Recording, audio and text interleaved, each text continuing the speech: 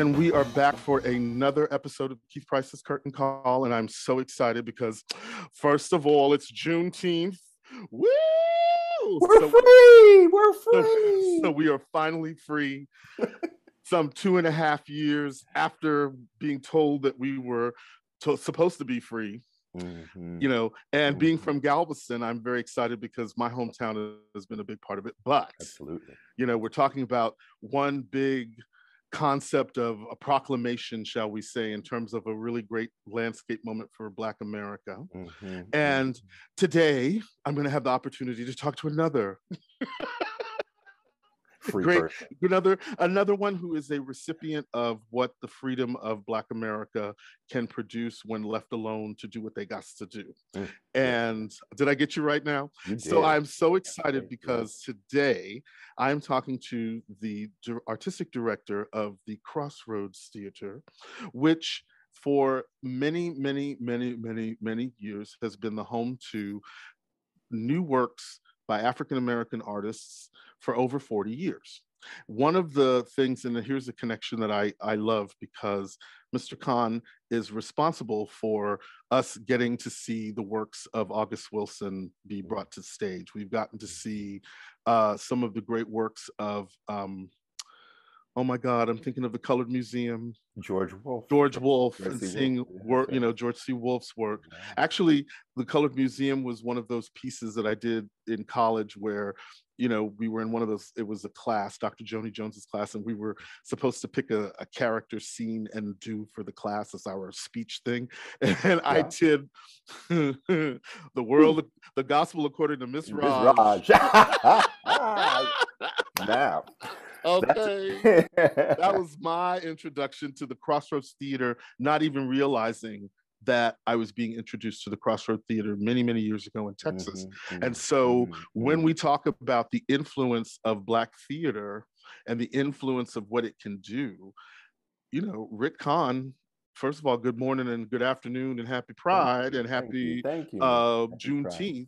Yes. And thank you. That's how we can start it off. Just a hey, big old thank you.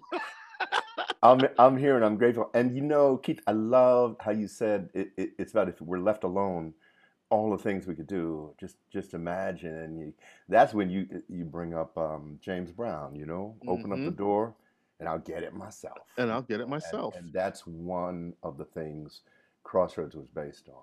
Now we didn't just pop up and decide to do that. We we knew that people who came before, like the African Grove Theater uh, in the 1800s, they did that, Right.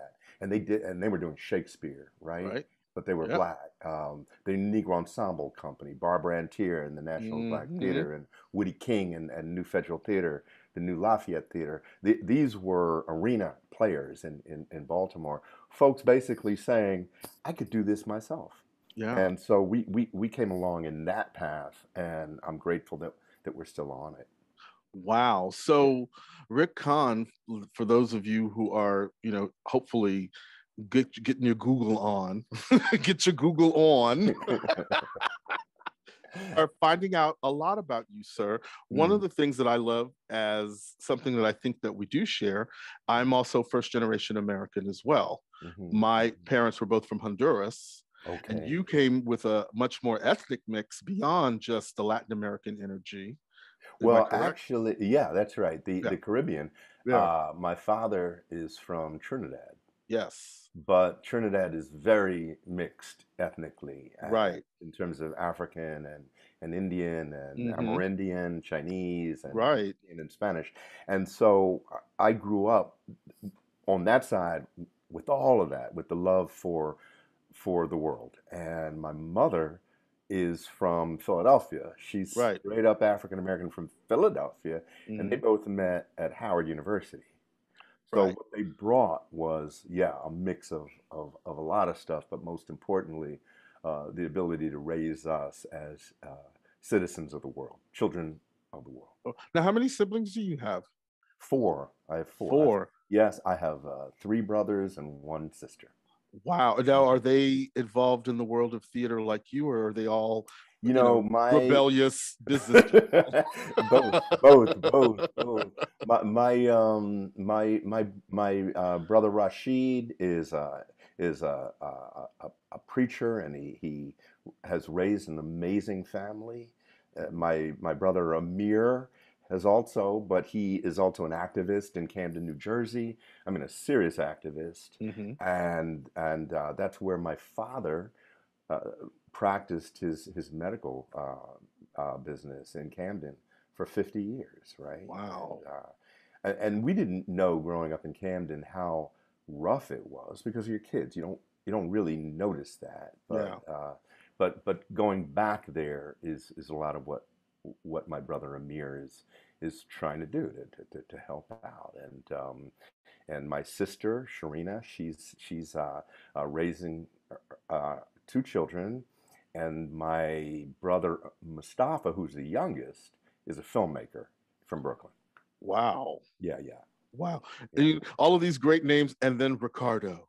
You know what? I, how, I, how did I, that happen? I know, I know, right? Well, I was the first, and I I believe uh, I Love Lucy had something to do with that. Ricky. Ah, right? okay. Uh, I, I, I used to try to figure out. Okay, my, my mother's from Philly, my father's from Trinidad, so in between, uh, you know, is that what Cuba? You know, I don't I don't. well, well, I mean, you know, because you. Trinidad is very close to South America, right? Trinidad, It- Tobago. yeah, yeah. You so, you so see it, you yeah. know, Mhm. there's a little something, something. There's you know, something, something, but I, I, I, I, I don't, I don't honestly know. I, but um, I was the first, and then after that, I, they, I think they, they, they, they went ahead uh, on my father's side. But my mother, on my mother's side, his uh, name was uh, his, uh, my mother's father.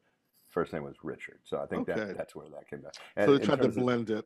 yeah, and exactly. Uh, Yeah, they were blend. That's exactly what they were doing. But the Arabic, a lot of that comes from my father, who, even though it, he's from Trinidad, Right, his origin is India. Right. There's a large, Yeah. large population that's there Yeah, that I discovered through. I had a friend who was a nurse, whose family was Indian. I I thought of as Indian, but then Right. I found out that they were raised. Their family was raised in in Trinidad. And so there was a lot of flavor. So when I was talking to roti to them, they were like, "Oh yeah, I know what a roti is." I wrote that. like, You don't know, don't come over here with that non-bread you know, foolishness. it's true. You know, when when I was so I'm returning to Crossroads now, but when I left Crossroads, I left in '99. Right. and I decided I'm gonna take a year to live in Trinidad. Uh, and I don't even know what the, my next step's going to be, but I'm just going to go. I'm just going to go. And part of why I wanted to go to Trinidad is because the uh, uh, uh, black theater in America, if if its focus is history and its focus is is the United States, then we are uh, not just by definition, but it, by every story, victims Right. of what happened to us as Africans in America. And I have always fought against that uh, because that means that that black black theater, like black history, is about black people being the victims and white people being the victimizers. And there's got to be another way. There's got to be a different way into it. And so, spending a year in Trinidad was about trying to to, to live in a society that is from all these different backgrounds. But Keith, when you ask a Trinidadian who is uh, um, whose origins are India or whose origins are Africa or who are whose origins are Venezuela, they're going to say, "I'm Trinidadian." That's it. They're from Right? Trinidad. With here man. That's it. because here, you know, we see each other on the streets and we say, "What are you?" Mm. You know, and we know exactly what that is. It's like, where are your people's from? What- But but they they'll say they'll tell you Trinidad.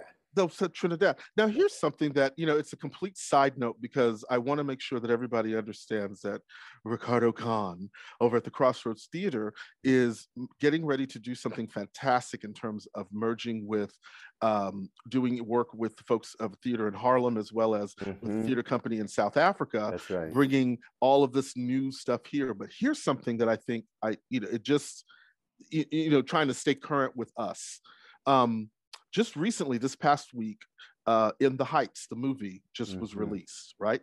Yeah. And the conversation, you know, for me was I was so excited to see this piece come up. I was Mhm. thrilled. I Mhm. watched it and I loved every minute of it. I thought it was wonderful. I ate up every piece of mofongo I could find. You know what I'm saying? Like I got all up in my feelings, right? Mhm. And later on the, the, the week there was a, a moment when they had a, a the Rita Moreno was being asked about the, Oh, the film Mm. and there was a conversation that was brought up about how there were no black latino characters in the the i guess in the The immediate main, past yeah, in the main. you know it's but there there's the benny the car man who Mhm. is black hmm african american but he's not black latino hmm you know but within the mix and and i when i sat there i was so stunned because i sat through that entire movie hmm and it never dawned on me to look at it that way because i am also you know my parents are both from they were both from honduras. Hmm so mm-hmm. that makes me first generation black latino if that's what the question is. And it didn't dawn on me to look at it as there was no black latinos there. I saw enough latino energy to not mm-hmm. have that be a concern because i think of myself as latino as just mm-hmm. latino. The fact that there were any black that looked like me latinos didn't Mhm. change one iota of that story and i was really wondering you know with that level of representation do you you Mhm. know here Mhm. you are now with this what you're doing with the crossroads and bringing all of this other energy hmm as a uh, just a black person do you feel just as connected to the folks of harlem as you feel to the black people of you know africa south africa to the place where if you created a role or a position where you had a black person and you put someone from south africa in it versus putting someone from harlem in it or vice Mhm. versa hmm you know that level of controversy it's sort of like well we're all black Mhm. you know we're all people we're all human we're all into this mix yes Mhm. we are also latino but i mean the idea that everybody was you know uh, you know up in arms and i i just was wondering like how does that representation question thing affect the stuff that you do and the stuff that you put forward and how conscious of it are you It does not. Um, it does not define me as a person or as an artist. So it doesn't. Uh, it, it doesn't uh, narrow what I see. But what it does do is bring a focus to an issue we have as Black people in this country, which is Right. that we're still trying to figure it out. right. All of this stuff is about trying to figure it out. And uh, and and you know coming from a different uh, you know from uh, not you particularly from a different country but if you are are in a different country you're going to come across people who are going to come to you and say keith i don't get it.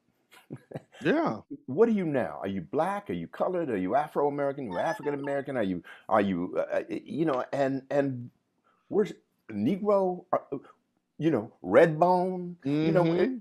red man uh, you know we're still going through it keith. We're still a work in progress. Right. Uh, uh, and and it's because so much was taken away from us at one point. So so i think what we're questioning now we absolutely need to question.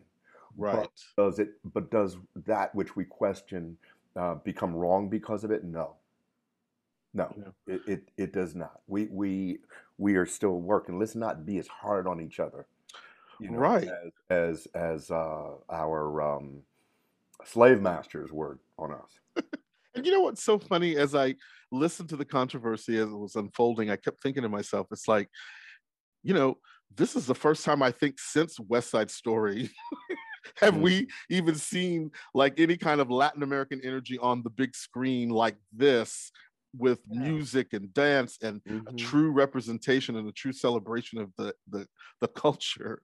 and, and in it's the, like- in the room that manages Yes. because we didn't do that in West Side Story Right. but, we- but we Right. are doing it here and Yeah. we're doing it here and Mhm. it's just a shame that you know that that was something that got flagged by someone and i and i can't for the life of me understand like you know when will it be enough it's like because that's just one project you know what i'm saying like that's that's the first of hopefully many projects where we're going to be able to now like now that we can explain to people that there are different kinds of latin folks Mhm. that look all different kinds of ways Mhm. because now somebody got mad.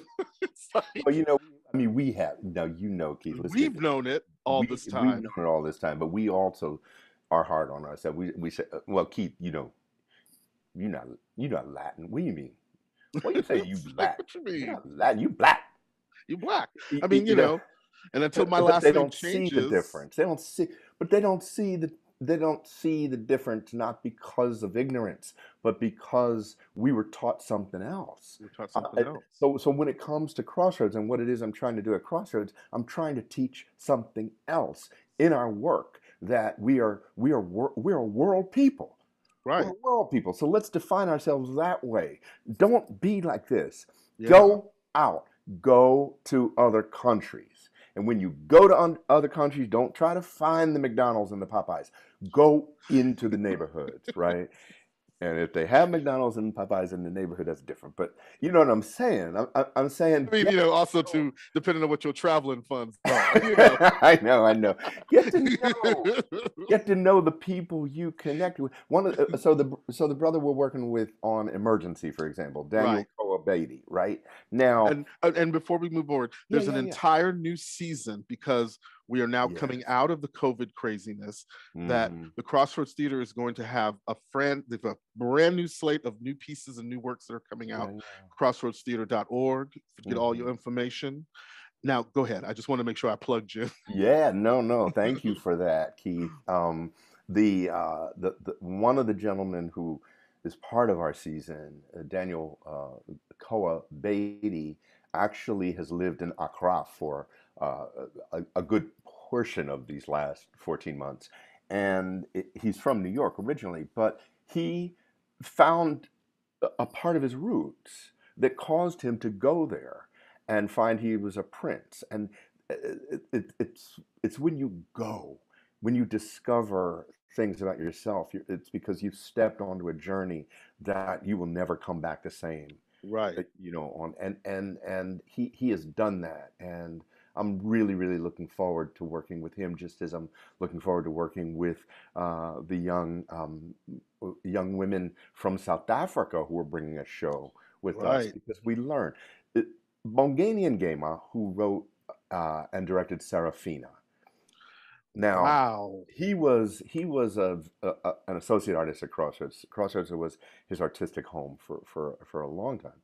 And you had mentioned George Wolfe. He was an artistic uh, associate at Crossroads. So was Anna Deavere Smith. So was Ntozake Shange. Uh, so was uh, Avery Brooks and, uh, and and and Denise Nicholas. And and the one thing that all of these folks have in common is their sense of themselves as bigger than what America would, would want you to be defined as. It's Right. bigger. It's it's bigger, you know, and and I- I think that's why the market theater becomes so important to us. That's why Trinidad and and and the Trinidad Theater Workshop and and folks, in, uh, you know, artists, uh, black artists from all over the country who live in the UK and and and other places other than here are people who need to be in the dialogue too. We're at the Right. center of it, and what we're trying to define is a better sense of who we are as African Americans. That's the work we're doing, but it Right. involves everybody because we're part of everybody. Okay, so let me tell you about the season. Yes. Yes, yes, yes. You teed it up, and I went somewhere else. Okay, No. so That's why we can do whatever we want. That's why I love Okay. this. All right, I, I love it. Thank you. So, what we, what Crossroads is known for, is always working out of its own building and being its own entity, right? Uh, in New Brunswick, New Jersey, and we were part of the New Brunswick Cultural Center, but it was our own building. That building and the one next door to it, George Street Playhouse, were knocked down in order to build a big performing arts center. Right. So the reaction I had to that was, this is beautiful, and it is. The, the center is absolutely gorgeous, but the challenge is identity. Where are we? Where's Yeah. Crossroads, right? And so we've been working with them, and they've been wonderful with us to try to get to get that back for Crossroads. And Right. what they decided to do was allow us. So we're doing our shows now in festivals. So rather than a show every other month throughout the Mhm. year, I'm taking the shows that we would normally do in the fall and putting them together and simultaneously running them in the center. So if you walk Wow. into Crossroads, yeah, uh, if you walk into the Performing Arts Center, there there are two theaters. One you'll see one show, one you'll see another show. You could go upstairs to the to the um, community room uh, the the rehearsal hall, and there'll be a different community reading every night. And then we're going to have a bookstore in the lobby. We're going to sell retail in the lobby. We're going to have our food, our music, e- all of this before we even get to the shows. So when people are in there, it's like a marketplace. And then it's time to go see the shows, and everybody goes to different places, and then they come back. So the first show, for example, uh, is a show that I felt was necessary because we're coming out of COVID, and we're, we're we need we all need to emerge, but we need help emerging, Right. re-emerging, right? Because uh, you know we want to get back into the theater, we want to get back with people, we want to get back to music and the arts and theater. And so I talked to Sweet Honey in the Rock, the the the, the musical. Yes. yes. I said, Would you help me do this?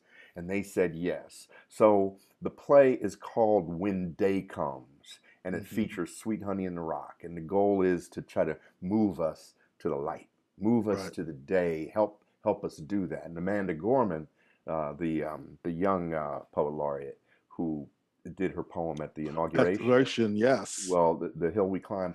The, her first lyrics are "When day comes," so that's that's what it is. And and and I'm saying to you, I am expecting day to come in September for theater. Wow. And then the other show we're doing is what I talked about. Daniel Koa Beaty is called Emergency. hmm And in Emergency, he plays maybe 60 different characters all himself. He's a spoken word artist. And I think every young person should come out to, to see that and be part of who he is. This is about, uh, in the Hudson River, a ghost slave ship rising Wow. today. Today. Ooh. And, and you ask yourself, Oof. what would our ancestors say if they saw what's going on today? What would they say? How would that affect us? So Hmm. it, it's very much a contemporary piece, and uh, and then then we're doing we're doing free shows for young people, for children and their families. It's called Free Family Saturdays, and that's kicking off with Divinity Rocks, and that's on Saturday morning. So I mean, and then there then there are others that'll take us all around the world. So it, it- it's going to be a really exciting fall, and then we're going to come back in the spring in June with the world premiere of Freedom Rider, which celebrates. Freedom Riders of 1961, and uh, and then the other, as I was telling you, is called "Text Me When You Arrive," which is the South African. African one. That's That's the with the the women. I forgot the description. Yeah. It was like the description when I read it. I was like, oh, okay. So this is going to be very very interesting. It was like after the description, and it's like, but it's supposed to be a comedy. And I was like, oh, You know, it's wild. It's true. The, the, be the way they, the way these women tackle the issue of date rape. Yeah. okay uh is is it's not like this graphic thing where it's this is what happened to me. It's coming at it a different way that you'd appreciate like their own from their own youtube channel hmm right coming on to say okay now we're going to give you suggestions on this particular thing what to do all right? Rule number one right? Um, and they'll say something like don't dress a certain way when you go out. But what they really mean is why not Why not? right Why not? so it gets to the issue but it gets to it in a way that makes it uh, uh, accessible as a conversation that we all need to have Versus it being some didactic, you know, right this is what you have to do. This is how you save yourself. This is what you, right you know. that's right, right. and they but- have fun with it. They have fun with it. So I'm But it's not excited as- about that. but but it's not as as you know um i want to say folklorical as when your mama used to tell you don't leave your drink uncovered don't don't walk away I know. you know what i'm saying Don't- make sure your I friends know. know. where you're going when you leave the house you Isn't know what i mean like yeah, I mean it's it's wild. I was I was directing a show once out in in um, Kansas City, yeah which is where I, I, I started developing Freedom Rider, and all of a sudden the kids, uh, because this is a university, they just felt different. They they were thinking differently, and I asked them, well,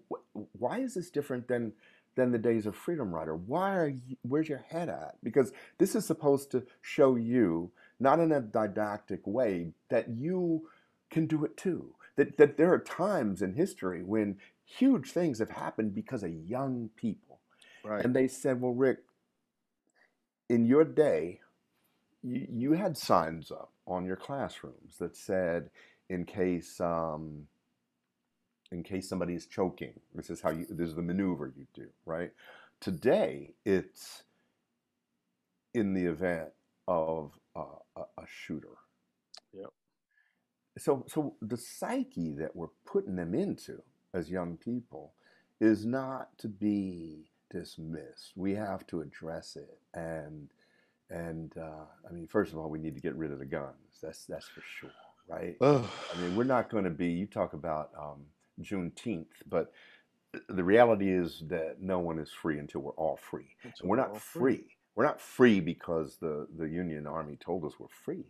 Right. Uh, we're not free until we can get young people to feel free, to dream again, to to walk again, to to, to not worry about what is put into your uh, your glass when you move away, right? Right. Well, you know, that's that sounds like in a perfect world. yeah, yeah, you look back. That's in, true. in the utopia right. upon which I want to be. Here we go. And then it's like, oh, okay, Uncle Keith, you telling us back in your day, back in your day, our cup. We don't drink drinks like that no anymore, more. Uncle Keith. we know. drink drinks through tubes Through tubes, you know. with oxygen. like you know what's so funny though? It's like I always think about how the times have changed dramatically and how the things that we did allow and, and, and make allowances for, there's no room for that anymore. And do you see, like, with theater in terms of when you started with Crossroads versus the things that are being presented in theater day, like, as we go from that to you know seeing things like a in the heights and then the, you know hamilton and seeing that kind of hard celebration like you know Mhm. in terms of of of identity being celebrated and, and brought to the stage in a way like do you see any differences between what it was like then and versus what you're seeing now? Well, I think it was uh, it, it was perhaps more innocent in terms of how we approached art right. back then because back then it was i mean probably for you as well.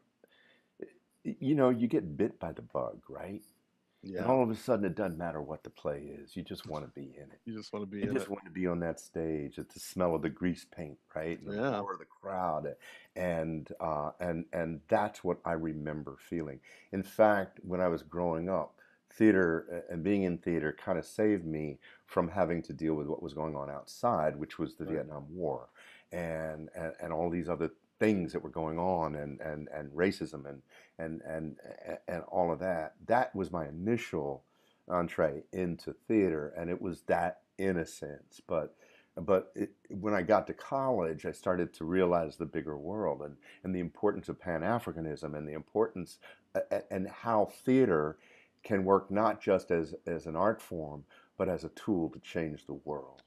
And Yeah. so that is, you know, that is where I think those types of theaters that I mentioned earlier, any Negro Ensemble and and and, and New Federal and Ntozake Mhm. Shange and Ed Bullins and people like that, they were Ron Milner.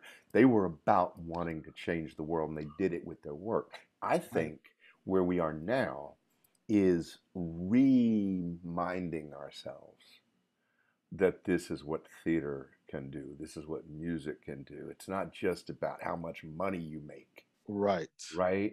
Yeah, because between then and now, black folks are start are, are making some money now. Right. They weren't before. They weren't allowed in Hollywood before. Or they weren't accepted in Hollywood before. Uh, uh, uh, you know, um, we didn't have uh, managers of basketball teams who were black anymore. You know, and now we do. So I mean, there there's opportunity. There's all of this. People are moving to other things. I am hoping we are also recognizing the need to come back to community, to come back to our our uh, our issues, and use our art uh, in a way that can still be innocent in terms of the beauty of the art and the form, but use it to change the world. Use it to make a difference so that our children um, are able to inherit a, uh, a world better than the one we inherited. We could Right. do that with theater. We could we could do that with theater because we're bringing, unlike any other art form, we bring all kinds of people together Yes. into one room to see one one piece of work and they can all respond differently if they want they could take whatever they want you know i was watching an interview you were doing Oh no. and you consider no you were you were talking about um how you don't see yourself as a critic but an ambassador right Yeah. and i'm thinking you know that's exactly what it is we are all we're ambassadors and we use our work to to to to bring worlds together that's by the way where we get our name crossroads Right. Wow.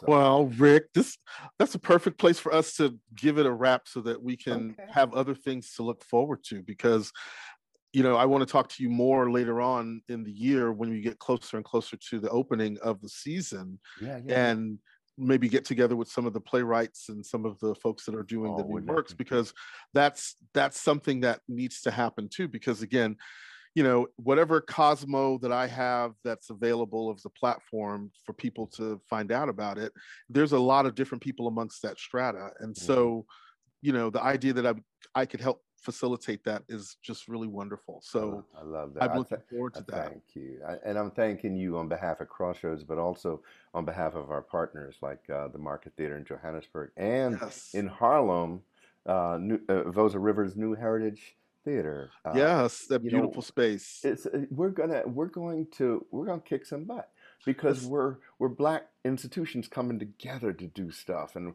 and I want I want to do it uh, with black institutions across the country as well and it doesn't mean that I don't like working with my white brothers and sisters because I love that too. This is a, a different meaning though.